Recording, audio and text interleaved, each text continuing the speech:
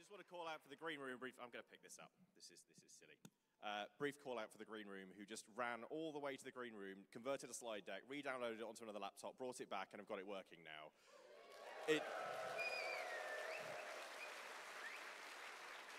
I'm, I'm just going to give you a heads up that I suspect there might be some AV trouble today. We haven't quite got all the kinks out of it, and this may happen again. So sorry for anyone who's speaking, and sorry if you have problems. Uh, fingers crossed we'll fix it quickly. Anyway, hello, welcome to electromagnetic, electromagnetic field. We're back.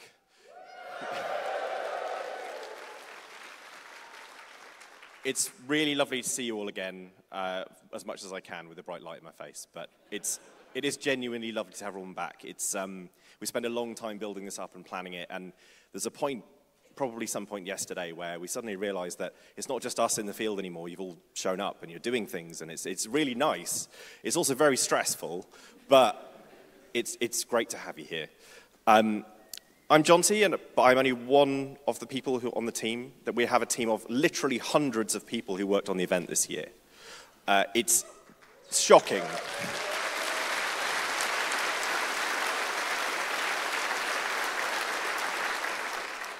And many of those people have been working on the event for more than a year, almost continuously in the background, and then very intensely for like the last three months.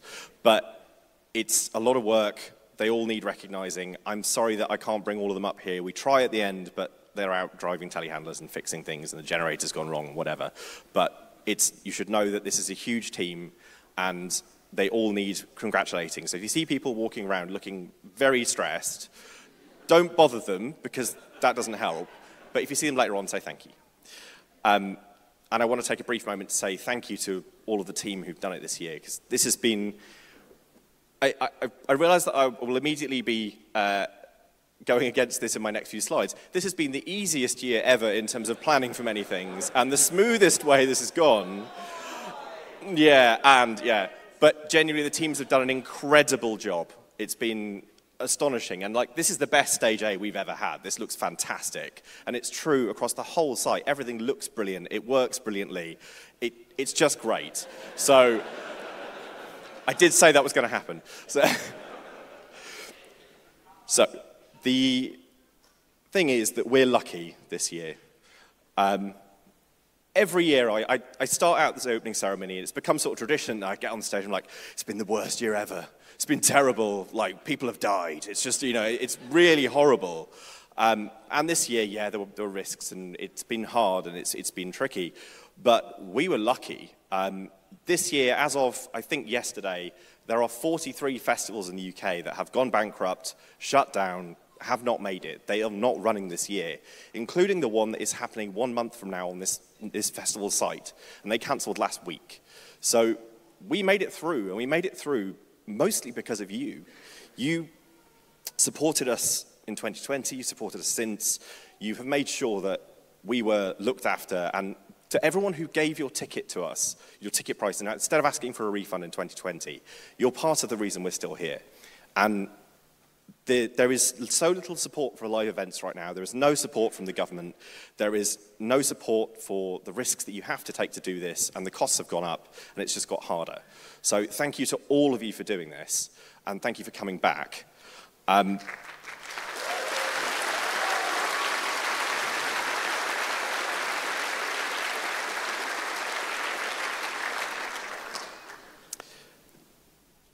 So I also normally like to show a time lapse of EMF being built. And I can't do that this year because all the tents showed up early, which was unexpected. It's never happened before. Unfortunately, so did the rain. And we had an entire month of rain in one day. It was horrendous. So the site, as you can see in this picture, looks lovely and green. There's a few tents there. But you can probably start to see there's, there's some tracks appearing on the ground, and it, it was not great. And it got worse fairly quickly. And for the team who've been on site for the last 10 days at this point, they've had a rough time, and most of them are quite dirty uh, because the mud, you can't tell now, was really bad. Now, I would have a video to show you of what was going on, but unfortunately, because we just had to download it, you've got a nice screenshot of a video instead. So imagine this telehandler churning its wheels, desperately trying to get out, and Michael looking very sad. That, that was a whole week just everywhere, all the time. We, we had vehicles stuck all the time. In fact, we had somewhere in the region of 40 plus vehicles get stuck. And Pez, who, who's uh, one of our team, took photos of all of them, and I was going to show all of them. And there were so many, I just couldn't really fit them on the screen without it looking absolutely terrible. So you're going to have to trust me that it was just awful all the time. Now, I'm sure some of you actually did get stuck in the car park already, or you will on the way out. I'm very sorry in advance. But it's, it's been a rough build, but everything else has gone reasonably well, and the site has recovered now. Hopefully, there's no more rain. um, and it looks beautiful. This is from yesterday. I,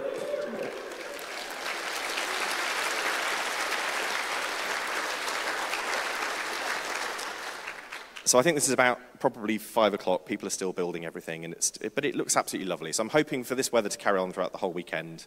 Uh, I'm sorry, the people who are normally in the north of the site who loved the ducks in the past, there are no ducks. But I know, but there is a robot submersible in the lake instead, so go and find that. I don't know if it quacks, sorry. So this is the point where I have to get you to sign up to do things and hopefully lots of you already have. I'm, I'm aware that we are at 61% of volunteer shifts filled for the festival already, which is the highest we've ever had. So thank you so much already. But everybody who organised this festival, everyone who has had anything to do with it, we are all unpaid volunteers doing it technically for fun. At least that's what I tell myself. They all bought their own ticket, they all worked to do this, and we need you to put some time in now. If we don't get the volunteers to fill all the shifts, we end up doing it, and it's bad for everyone. The experience will be worse. We need you to do this. If, every, if only 50% of the people at a festival do one shift, that is everything covered. We don't even need all of you to do it. But please sign up for one shift, doing something at the bar, helping out in the car park, standing on stage with me with AV not working, whatever. You know, you can do any of them. They're all available. Um, it gets you a hot meal in the volunteer kitchen. It also gets you a guaranteed ticket to the next event. It is the best way to get a ticket to the next EMF if, if you think you do want to come back. So do one shift. You sign up on the website, they're available now, plenty of shifts. We've been astounded by how keen you all were this year to come back and how keen you were to do things. We had three times more content submitted to our call for participation than any year ever. Three times. And I don't understand why. and it was all good. Like the, the talk schedule is amazing, the workshop schedule is amazing, it's all great. We have 114 villages doing things across the site, which I think is, again, probably three times what we've had in the past. And it's not like we've got that many more people, you've just more organized or something. I don't know, it's really good. But given all that, I've, I've, had quite a lot of conversations with people in the last few weeks where they're like, how do I optimize my time at EMF to do the most things? How do I see everything? At which point, I have to point out, there, it would take you 12 days to watch all of the talks continuously. Like, it's not, well, and workshops. You can't do it. So just go and explore. Go and see a couple of things you want to see. Go and find all the things the villagers are doing. Go and explore the weird installations that pop up I guarantee it, like three o'clock in the morning, there'll be someone doing something by the lake you'll never see again, and you can't describe to anyone. Like,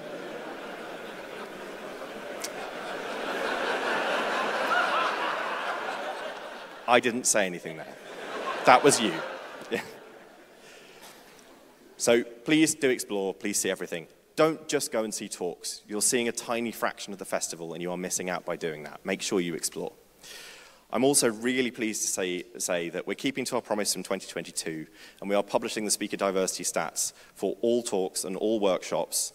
We are doing this publicly from now on. We are keeping ourselves to account we didn't do as well this year as we hoped with attracting new people, but we are working on that. And we have a session on Sunday where if you want to come and give feedback and talk about it, we're there for that. And our blog currently has a long post about this and what we're doing to make it better in future events. But it's important to a lot of people, and we want to make sure that we are holding ourselves up and saying we're not doing as well as we should be. This is where we are, and this is where we're going.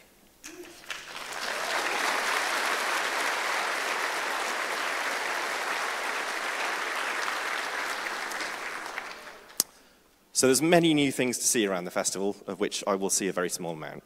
But I wanted to call out a couple of things that I think are worth you going to see, because we've put a lot of effort into them. The first one is that we've changed how we're doing the arcade. Now, everyone's probably familiar. Say everyone, lots of people are new. The arcade is not, traditionally old arcade machines, uh, which is great, it's lovely, but it's not showing off what people are doing now. And we didn't feel it was right for EMF to just bring in old things all the time that don't change. So this year we've done it differently. We are bringing in uh, a new set of arcade machines that we have built ourselves. A small team has done this in a very short, small amount of time. It was probably not a very good idea, but we did it anyway. and we have over 33 games that have been come from uh, EMF attendees. We have physical machines, we have video games, all sorts of things. Uh, and we reached out to the indie game community and got them to submit games as well. And they, have all willingly contributed. This isn't just stuff we bought or anything. Uh, of, of those games, over half of them were created by people from historically underrepresented groups in games. So we have tried to address that up front because the games industry is not diverse in any way. So it's important to us that you see which ones those are, and you will find in the arcade every single game has a small plaque next to it explaining a bit about the creator, the game, and allowing you to find out more information. And you'll also find these games all across the site. The bar, down in Null Sector, all sorts of places have games that you can find and experiment with, and they all have information so you can find out more about the people. The creator of the wildly popular Lunar Lander game from EMF 2022, which some of you may remember from the bar, has a new game in the bar this year, which is even more irritating. but uh, I, I, recommend you play it. The, the thing that I enjoyed most about this is that apparently that game was put on public display after EMF last time. And just to cover this briefly, anyone who didn't see it, it's, it's Lunar Lander, the very old game, but it's a mechanical, physical version of it. It's very beautiful. And he put it on display in Southwold Pier. And he, apparently it was just too hard. And it was too hard because it was built for EMF and put on display here. And then people kept beating the high scores, so the, the hardness got turned up. And then it, it, it got put on display, and they had to turn it down, and then turn it down again, and again, and again, because everyone here is terrifyingly good at games. so my request is, if you can beat all the high scores on the games that are here now, we've got something to try for next time. So but go and look for them. The other things we have are, we have an EMF Film Festival. It runs in Stage C every night. Some of you may have seen the test screening last night. Um, that has a new film container, which you will find somewhere over by the bar, showing short films and uh, digital artworks, all sorts of things that have been selected by us for you to go and watch when you just need some downtime. Uh, that's an experiment for us. We'd love to get some feedback on it after the event. And then finally, the part of the festival site is being taken over by an unusual facility as usual. Those of you who know what this means, you know where to go. Those of you who don't, when it gets dark, you'll know where to go. Again, it's different. You'll, we'll see what it's like. There's many other things that have happened this year, and I'm only covering a small section of them, but one of them that we're particularly proud of is that back at EMF in 2012, when we first started out, Running an internet connection to a field was difficult and stupid. But it was very important that we could get on the internet, so we did that. So this is the radio tower that we had at one end of our uh, three kilometer microwave link we had to get the internet to a muddy field in Milton Keynes under a motorway bridge. And it ran at 370 megabits. There was a lot of internet back then. That was, oh, so much internet. We were very excited. And we've upgraded it a bit. We, we had a gigabit multiple times. But this time we've really, really upgraded it. So this time, this is how many radio towers we would need. this time we have a 40 gigabit internet connection to the field.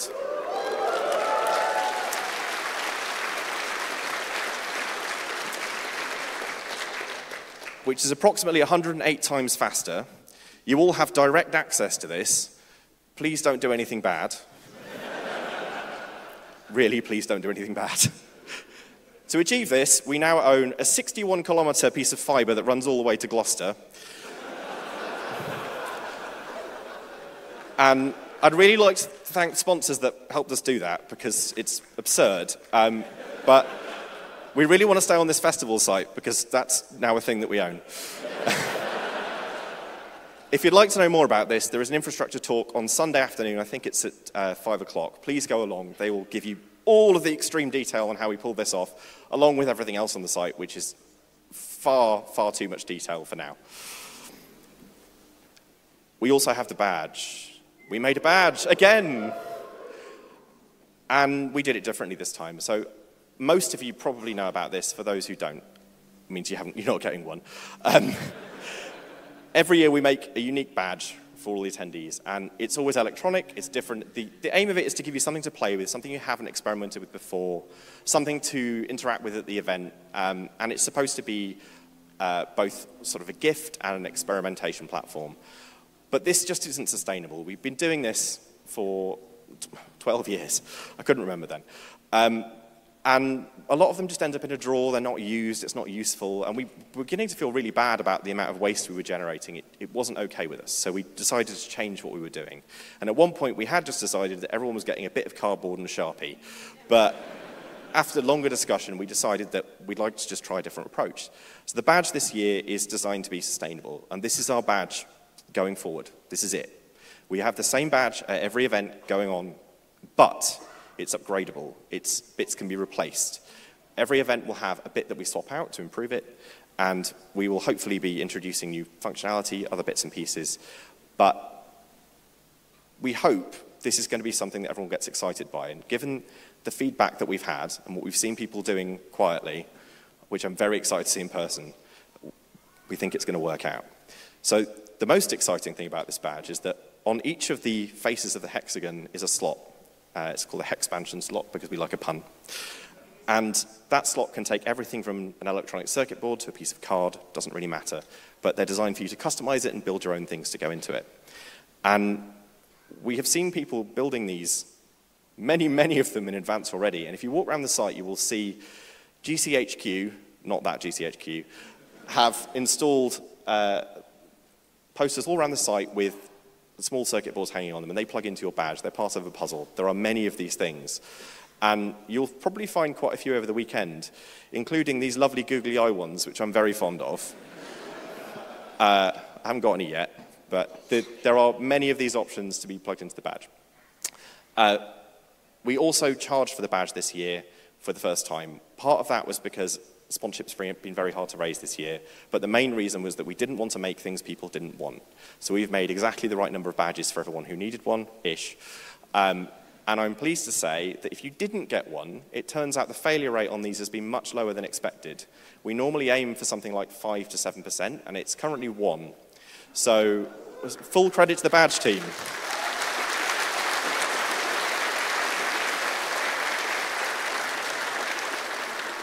I will say that's only because the badge team decided to get x-rays of the badge made in China before they came here to be doubly sure that they were okay, and they were definitely not okay. So good work to them. Uh, and the most exciting thing about this is that for the second year running, you can pick your badge up right after this talk at one o'clock. So I hope you have fun with them. The software is a little bit prototype. But we're sticking with it. This is the software we have for the next few badges. It will get better, and it does work surprisingly well already. I hope you do something fun with them. Finally, I've just got some boring things I need to talk about. The most boring one is that all your phones currently think they're in Germany. this is because most of our internet access equipment comes from Germany, and it also explains why my phone thought the time zone was wrong, and I got up an hour early for this talk, which I'm really grumpy about.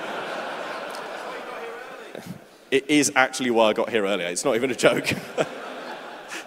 but the reason I'm mentioning this is because talks run at specific times, and if your phone is in the wrong time, you're not going to go to them.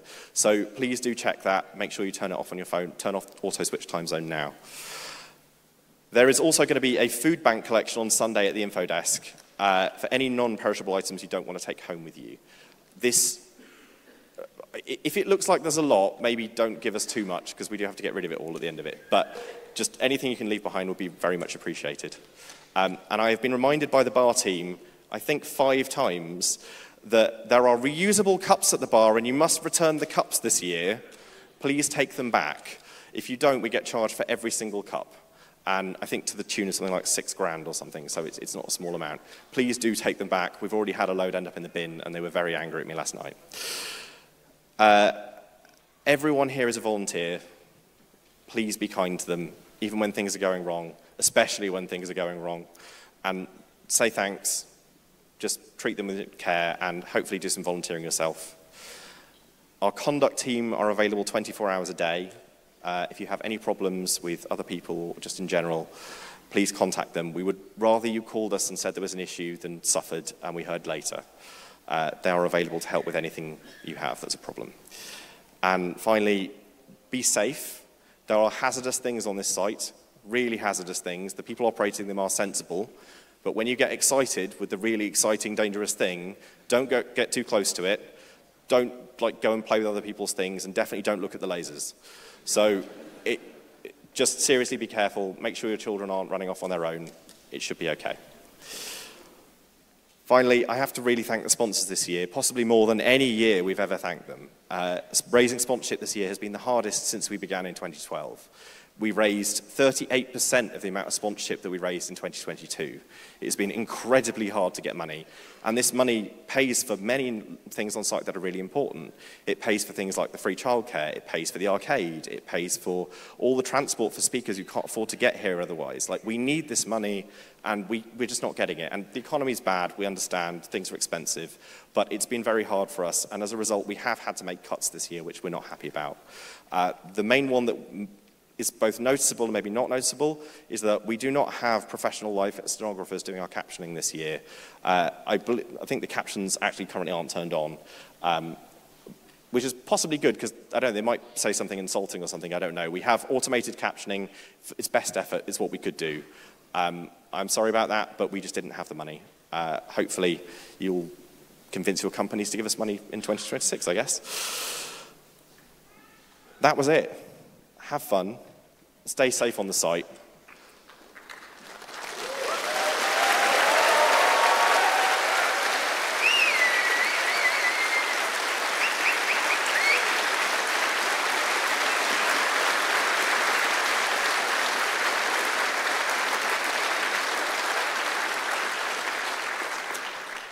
I encourage you to find the weirdest thing you can in the field and then make some friends while you talk about it. It is the most satisfying thing, and it's the thing you won't be able to explain to anyone else when you leave. Actually, I've just realized I forgot to put something in here, which I, I, I have to mention. Um, we discovered yesterday, I think it was, um, there is a BBC program which now slips my mind, uh, presented by Alexei Sayle on the radio. And um, it's, he gets on a train and talks to people, apparently. And uh, he got on the train to EMF and spoke to people on the train. And um, uh, I believe the quote was something like, uh, I don't know what this festival is, but this train seems to have a lot of people going to it. But he interviewed some people. I don't know if any of you are here, and that will be broadcast in July, I believe. So look out for that. I think it's on Radio 4. Uh, that was it. We'll see you on Sunday. Have a lovely time.